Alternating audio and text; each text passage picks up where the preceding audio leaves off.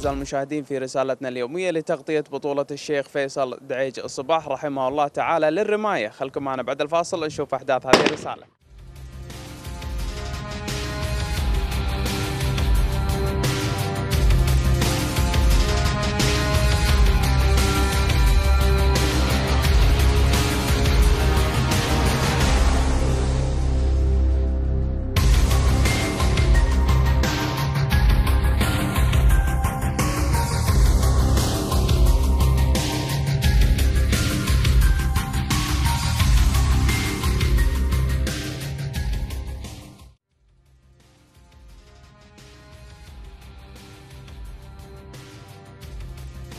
في اليوم الثاني من بطولة المغفور له بإذن الله تعالى الشيخ فيصل الدعيج الصباح رحمه الله للرماية المقامة على مجمع ميادين الشيخ صباح الأحمد الجابر الصباح الأولمبي حيث انطلقت منافسات trap رجال و trap ناشئين و skeet رجال و skeet ناشئين وأيضا skeet سيدات.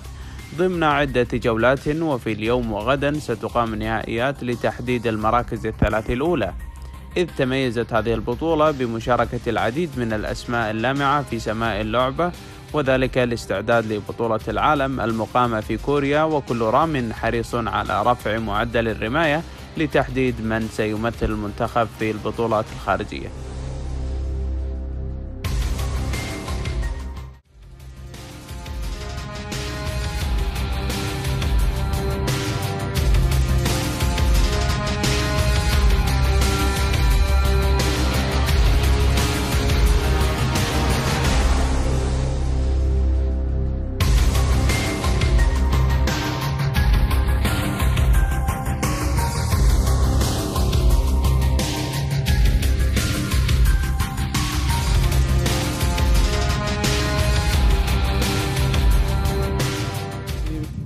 في البداية أنا أود أتغمد على آه، المغفور له الشيخ فيصل الدعيج رحمة الله عليه. هذا من مؤسسين الرماية وكان من عشاق الرماية في نادي الصيد والفروسية سنة آه، الثمانينات تقريبا. آه، وهذه البطولة طبعا تعتبر استعداد لبطولة العربية المقامة في المغرب ثم بعدها بطولة كأس العالم في كوريا. في شهر أبريل القادم.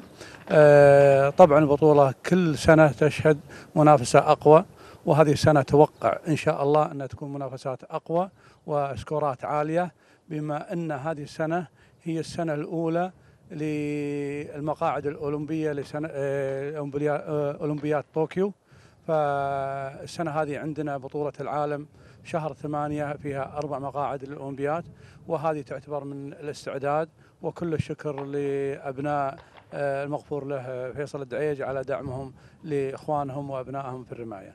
الاستعدادات السنة السنوات هذه القادمة أشعر أنا في أن العالم قاعد يستعد أكثر وأكثر وفي تطور. فإذا الإنسان ما يبذل جهد مضاعف آه، ممكن ما يحصل ولكن هذه ترجع على الحظ. إن في توفيق من الله سبحانه وتعالى. آه، إذا كان هناك توفيق راح إن شاء الله راح نعيد الست مقاعد. بالنسبة للكنترولات آه، أشوف أرقام عالية وعدد رمات أكثر. قبل كانت تنافس على شخصين فقط. الحين أكثر من خمسة أشخاص إلى ستة أشخاص قاعد يتنافسون على المراكز الأولى وهذا إنجاز كبير لاتحاد الرماية. إذا بنتكلم عن بطولة الشيخ فيصل الدعيج، فيصل الدعيج غني عن التعريف بالنسبة للرماة يعني. آه، الشيخ فيصل الدعيج من مؤسسين نادي الرماية من من الرماة المميزين كانوا آه، رحمة الله عليه. آه، طبعا البطولة هذه تهم كل الرماة وتوقيتها يكون في آخر الموسم. آه، الكل آه، شاد حيله، الكل في آه، يعني إذا بنتكلم نتكلم عن التكنيك التكنيك كامل يكون عنده. آه، نهاية الموسم آه، بطولات آه، خارجية آه، نتكلم عن الرماة. الر- بنتكلم عن الرماة الرماة يعني رماة ال skeet معروفين خصوصا يعني رماة ال skeet بالكويت. آه، ما شاء الله تبارك الرحمن كم هائل من ال- الرماة الأبطال. يعني لما أنت تتكلم عن المنافسة آه، تنافس بالكويت كأنك تنافس برا يعني ما في ما في فرق يعني. هي بطولة مو البطولة الأخيرة بطولة قبل الأخيرة. يعني في عندنا الأسبوع القادم إن شاء الله في بطولة. بالنسبة لي أنا كان الموسم هذا الموسم مو زين لي. يعني كان سكوراتي كلها نازلة. آه، إحساسي في قبل أسبوع يعني أن البطولة هذه والبطولة الجاية راح تعدل ال score كامل يعني إن شاء الله. بالنسبة لل skeet هنا في الكويت بط- كأبطال عندنا كم هائلة من الأبطال؟ يعني أنا لما أنافس هنا في الكويت آه، أنا كناصر دحاني أنافس هنا بالكويت وأنافس برا نفس المستوى. يعني عندي آه، لما لما أروح برا يعني يكون هني الرماة يعني نفس قوتي اللي برا بصراحة يعني. البطوله البطولات القادمة البطولات ال- الخارجية يعني بطولة المغرب أنا أشوف الفريق الكويتي ممكن أنه يكون إذا سمح القانون إنه يدش أربع أربعة بالفاينل من ستة الكويتي راح يدشون أربعة.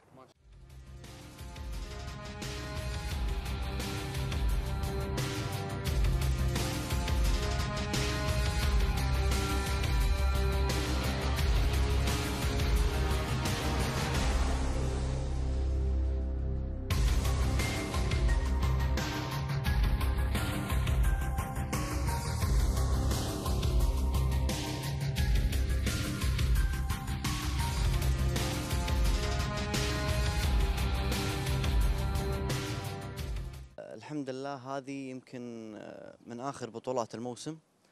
و... والأجواء مثل ما تشوف اليوم آه، ما تساعد يعني على الرماية لأن الغيم والطقس متغلب بيخرب على الرماية. لكن آه، الشباب الكويتيين ما شاء الله عليهم تبارك الرحمن كلهم رماة أبطال. إن شاء الله راح ينجزون في البطولة هذه بإذن الله. هي في الحقيقة إن اللعبة توقفت رسمي الاتحاد للاسف وكأكثر رماة ال double trap حولوا شوي يرمون trap. بس إن قائمين إحنا على لعبة double trap نرمي double trap لين إن شاء الله يعني إن شاء الله أنها ترجع اللعبة يعني رسمي مرة ثانية. وحنا قاعد نعور في التراب.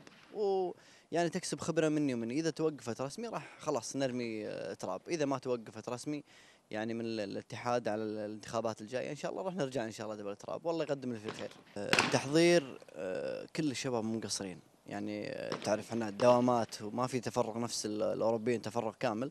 لكن يعني واحد ما يمدي يخلص من الدوام يفكر متى يروح يرمي جولته ويعدل نفسه. طبعا هذا كله حافز إنه تعطي يعني تطور لك أنت وإنها يعني ترد جمايل الكويت عليك. أول شيء إذا الرامي يحافظ على رغمه يعني لا شك إنه بطل. بس في أشياء تحكمك مثل الجو مثل الهواء. الهواء يأثر شيء كبير خصوصا في لعبة دولترا يعني آه، البطل صعبة صعبة صعبة يمسك نفسه في أيام اللي فيها الطقس متغلب. أما في الطقس العادي لا البطل يكون وضعه واحد وسكوراته واحدة وهذا اللي يميز البطل دائما يكون في المقدمة.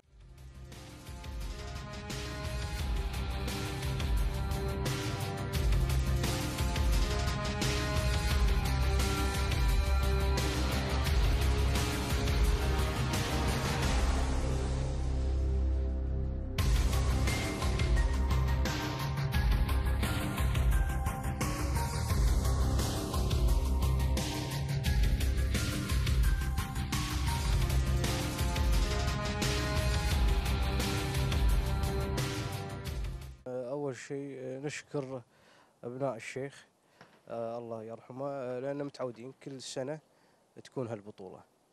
واستعدادات الشباب مثل ما تشوف جاهزين الشباب والميادين كلها شغالة. والله هو آه، شوي يعني تبدل النظارة تشوف النظارة أحسن آه، بحكم أنه غيم وزاد في نسمة هواء شوية فشوية الأجواء راح تصير شوية صعوبة فيها. والله منافسة منافسة. يعني آه، كلهم أبطال مشاركين أي تأخير يصير في البطولة آه، يصبح هناك آه، خصم ثلاثة أطباق ويتم يرمي لين ما على قولتهم خلص رمايته ما يعوض خلاص في خصم اللي حاصل إن الوضع لازم الواحد يكون شوية حريص. أغلب الشباب اللي موجودين أسمائهم كبيرة والشباب اللي يعني قاعد يرمون يحاولون إنهم يطورون من المستوى. يعني هذا اللي حاصل ويانا. البطولة هذه طبعا سنوية يرعاها رحمة الله عليه فيصل دعيج الصباح. والبطولة هذه تتكون من آه، يومين متتاليين. اليوم الأول نرمي 75 طبق واليوم الثاني نرمي آه، 50 طبق ونتجه آه، إلى الفاينل 60 طبق. طبعا ال- اليوم الثاني آه، تكون آه، نهاية البطولة. نهاية ال 125 طبق. يصفون أحسن ست رمات ويتجهون إلى الفاينل. طبعا عنصر الناشئين هو العنصر الأساسي في نادي الرماية. آه، طبعا كوني أنا طبعا تخرجت من مدرسة الرماية في في نادي الرماية هنا عندنا وصعدت إلى الناشئين والآن في الفريق الأول. طبعا نصائح ممكن أقدمها للناشئين إن آه، طبعا يكونون مع الفريق الأول يتعلمون منه يتعل... آه، الاحتكاك في البطولات هذه سواء في البطولة هذه رامين ويانا ناشئين في كل جولة ويانا راميين أو ثلاثة من الناشئين على أساس يحتكون ويكتسبون الخبرة من الفريق الأول. وبعدها عاد إن شاء الله يقدرون يطورون نفسهم ويكتسبون من أخطائهم ويقدرون يصلحونها في المستقبل. طبيعي المنافسة تكون أصعب لأن مثل ما قلت رامي عبد الله الطرقي الرشيدي رامي عالمي ورامي أولمبي ورامي زيد المطيري أخوي زيد المطيري رامي هم عالمي والرامي ال- الغني عن التعريف سعود حبيب الكندري هم رامي عالمي. فالمنافسات هذه تكون شرسة. طبعا إحنا تكون تكون بيننا إحنا أفضل ستة وأفضل سبعة في النادي. فالأفضل يقدر يؤدي في هذه البطولة ويقدر إن شاء الله يحصل الذهبية. ال- هذه ممكن بعض الرماة يرونها مشكلة وأنا شخصيا أراها مشكلة نظام ال final الجديد. سواء أنت دخلت ال final المركز الأول يقدر المركز السادس ياخذه لأن نتيجتك السابقة تروح كلها فتبدي الفاينل من الصفر فالمركز الأول والثاني والثالث يكون مضغوط ف يعني ما ما يقدر يؤدي نفس ما يؤدي المركز السادس اللي مو فارقة معه شيء.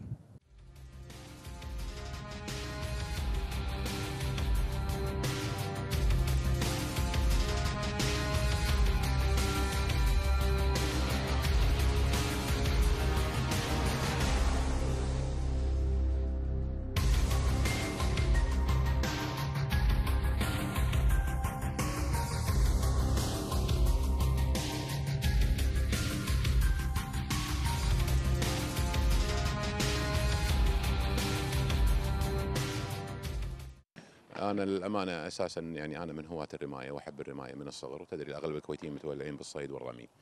أه، ما راح ألقى مكان أحسن من مكان نادي الرماية عشان أخلي ولدي يمارس هوايته المحببة له تحت إشراف مشرفين ومدربين متخصصين للأمانة وإدارة النادي تشكر على هذا النشاط. وأنا بال بال بالتبعية طبعا بكوني أنا ولي امره أنا حريص عليه أساسا في الدراسة وحريص عليه إنه في ميدان الرمايه يكون رامي يحترم القوانين ويتبع تعليمات المدربين ويرفع مستواه في النهاية يعني حفاظا على اسمه. هو ورفعته علما علم لبلاده يعني. والحمد لله أنا ولدي دخلته في بداية ال... كان عمره 14 سنة. دخل مدرسة تدريب الرماة والحمد لله كان متميز وبإشراف ودعم المدربين وبدأ يرتفع مستواه بشكل مميز يعني. وبعدين انضم إلى فئة الجونيور أو اللي هم الناشئين وتم ضمه إلى منتخب الكويت الوطني.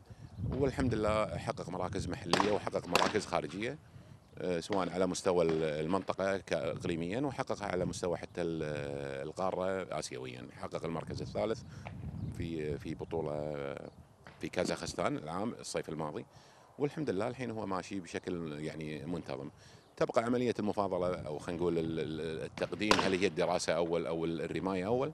باعتقادي أنا وأنا اعتقد الكل يتفق معي في هذا الشيء إن الدراسة في البداية أهم خصوصا إنهم يكونون اللي في الأعمار هذه يكونون في المراحل النهائية للدراسة الثانوية العامة. ولكن آه، في النهاية هم الرياضة قاعد تهيئ له نفسيا حتى يكون قادر على مقابلة التزاماته الدراسية. والله يوفقهم إن شاء الله في الدراسة اولا وفي الرياضة إن شاء الله ثانيا وأشكركم على استضافتي يعني. أنا هذه أقدمها فرصة يعني أقدمها رسالة حق أولياء الأمور اللي أبنائهم يعني ودهم إنه يحفظونهم ويخلونهم يمارسون هواية راقية وبعيدا عن يعني مشاكل ومخاطر الطريق والوضع اللي إحنا نعيشه الحين فالرماية والرياضة بشكل عام يعني أفضل مكان ممكن الولد الصغير يمارس فيه هوايته ويحفظ نفسه ويحفظ جهده.